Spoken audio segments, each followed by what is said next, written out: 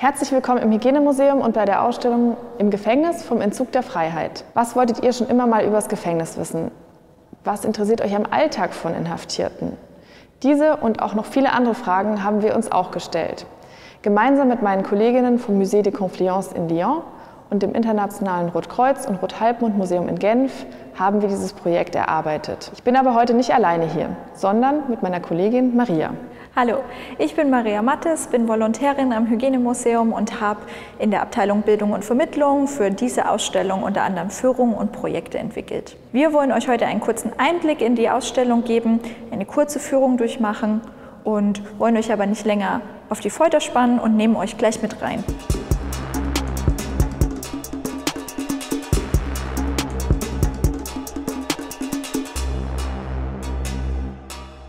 Wir stehen jetzt hier im ersten Teil der Ausstellung und wenn man eine Ausstellung über das Gefängnis macht, dann kommt man einfach auch nicht drum herum, sich zu fragen, warum wir strafen und wie wir eigentlich auch strafen.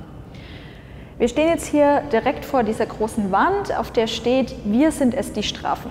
Das ist das Erste, was man sieht, wenn man in die Ausstellung kommt. Und was habt ihr euch eigentlich dabei gedacht, als ihr die Ausstellung äh, entwickelt habt, warum das das Erste ist, was man hier sieht. Also was heißt es eigentlich? Wir sind es die Strafen. Wir als Gesellschaft haben ja immer damit ganz viel zu tun, wie überhaupt gestraft wird. Das heißt, wir legen die Normen fest, wir legen Regeln fest, wir legen aber auch fest, was passiert, wenn diese Normen und Regeln und auch Moralvorstellungen übertreten werden, also wenn sie verletzt werden und ähm, damit auch, wie wir mit den Menschen umgehen, die die Regeln übertreten haben und wie es dann sanktioniert wird. Dies hat sich gewandelt durch die Jahrhunderte, aber auch in den verschiedenen Ländern. Wir können uns jetzt hier das Beispiel anschauen von Homosexualität, die in den 1960er Jahren in Westdeutschland tatsächlich noch ein Straftatbestand war. Und das ist natürlich heute unvorstellbar. Wir sehen auch ein anderes Beispiel, ein jüngeres Beispiel, wo es um das Thema Internet geht, also um den Aufstand in sozialen Netzwerken, wie es hier genannt ist.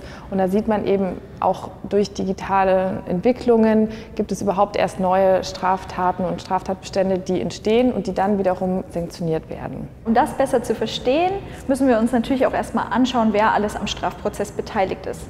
Wir haben hier ein Bild, äh, das stammt vom Ende des 19. Jahrhunderts, aber trotzdem ist es bis heute sehr aktuell denn es zeigt die Akteure und Akteurinnen des Strafens, also die Menschen, die unmittelbar daran beteiligt sind.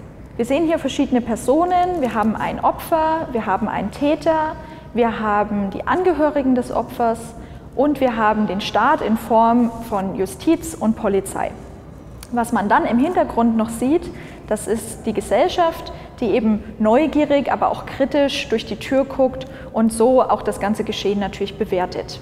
Seit wann gibt es eigentlich das moderne Gefängnis? Es gab sicherlich schon immer Formen des Einsperrens, aber das Gefängnis, wie wir es heute kennen, entsteht so ungefähr um die Französische Revolution aus dem Gedanken heraus, das Strafen humanitärer zu gestalten. Und da sind die Funktionen des Strafens auch gleich von Anfang an mitgedacht. Also die Gesellschaft soll Vergeltung erfahren, es soll abgeschreckt werden, der Täter soll natürlich seine Freiheitsstrafe verbüßen und es geht auch um die Erziehung und die Besserung sozusagen des Einzelnen. Wir sehen hier verschiedene ähm, Beispiele, wie die Institution Gefängnis dann architektonisch ein Gebäude geschaffen hat, um dieses Strafen auch durchzuführen. Wir sehen hier historische und auch aktuelle Beispiele. Wir haben dann von Anfang an aber auch gleich eine Kritik, die zu tragen kommt und die von den Theoretikern und Theoretikerinnen benannt wird und die darauf abzielt, vor allem was am Ende oder was nach der Haftstrafe passiert, nämlich die Resozialisierung, also die Zeit nach der Entlassung, die dann besonders kritisch ist und besonders schwierig und die eben leider nicht immer ganz so funktioniert, wie es wünschenswert wäre.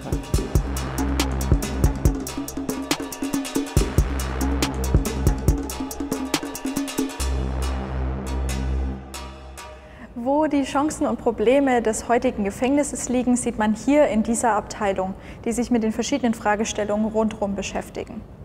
Dazu muss man aber noch mal vorab sagen, dass es eben nicht nur das eine Gefängnis gibt, sondern dass sich Gefängnisse sehr stark voneinander unterscheiden können.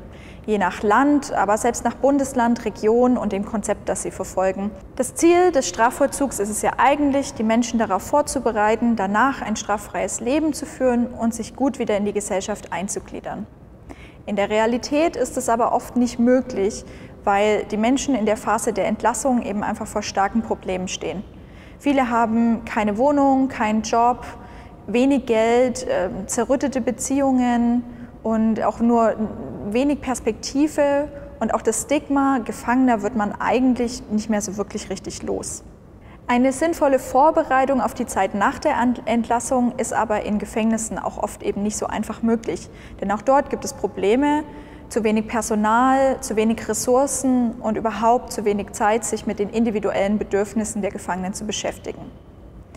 Dabei sollten wir als Gesellschaft doch eigentlich das große Interesse daran haben, dass die Leute danach eben ein straffreies Leben führen und sich gut wieder in die Gesellschaft integrieren können.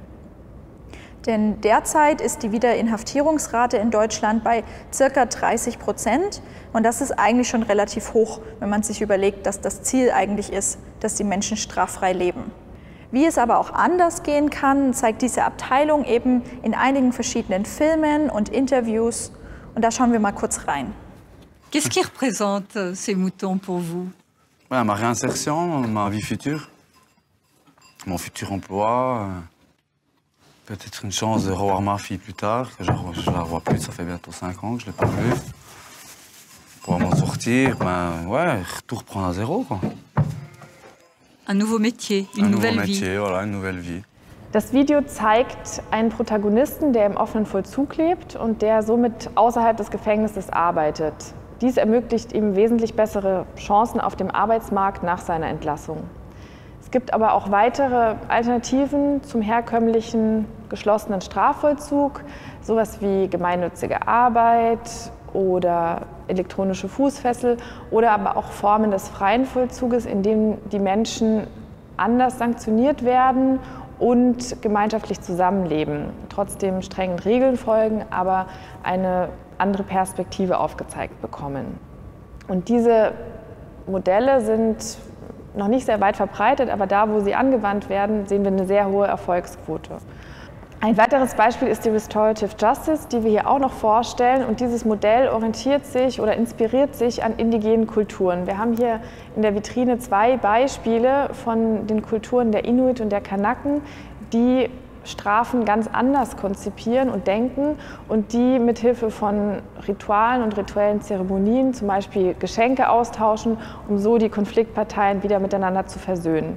Und dieses Modell wird auch in unseren Gesellschaften als Inspirationsquelle genommen, um Strafen anders zu denken und eine Begegnung zwischen dem Opfer und auch dem Täter zu ermöglichen. Das heißt, das Opfer auch mehr in den Strafprozess einzubinden und weg von der Idee, nur einen Einzeltäter zu isolieren, hin zu der Idee, die Konfliktparteien zu versöhnen und Wiedergutmachung zu schaffen.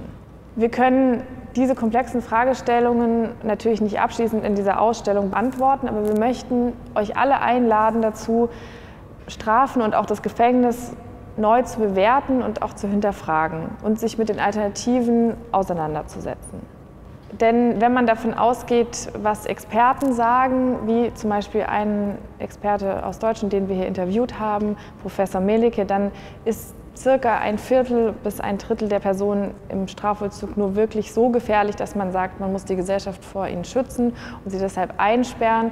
Und für die großen anderen Anteil könnte man auch vielleicht Alternativen finden, um sie so besser in die Gesellschaft wieder einzugliedern nach dem Strafvollzug. Wie denkt ihr, dass ihr diese Fragen beantworten würdet? Im nächsten Video schauen wir uns dann die Strukturen und Probleme des Gefängnisalltags an und schauen auch noch ein bisschen tiefer in die anderen Ausstellungsabteilungen rein.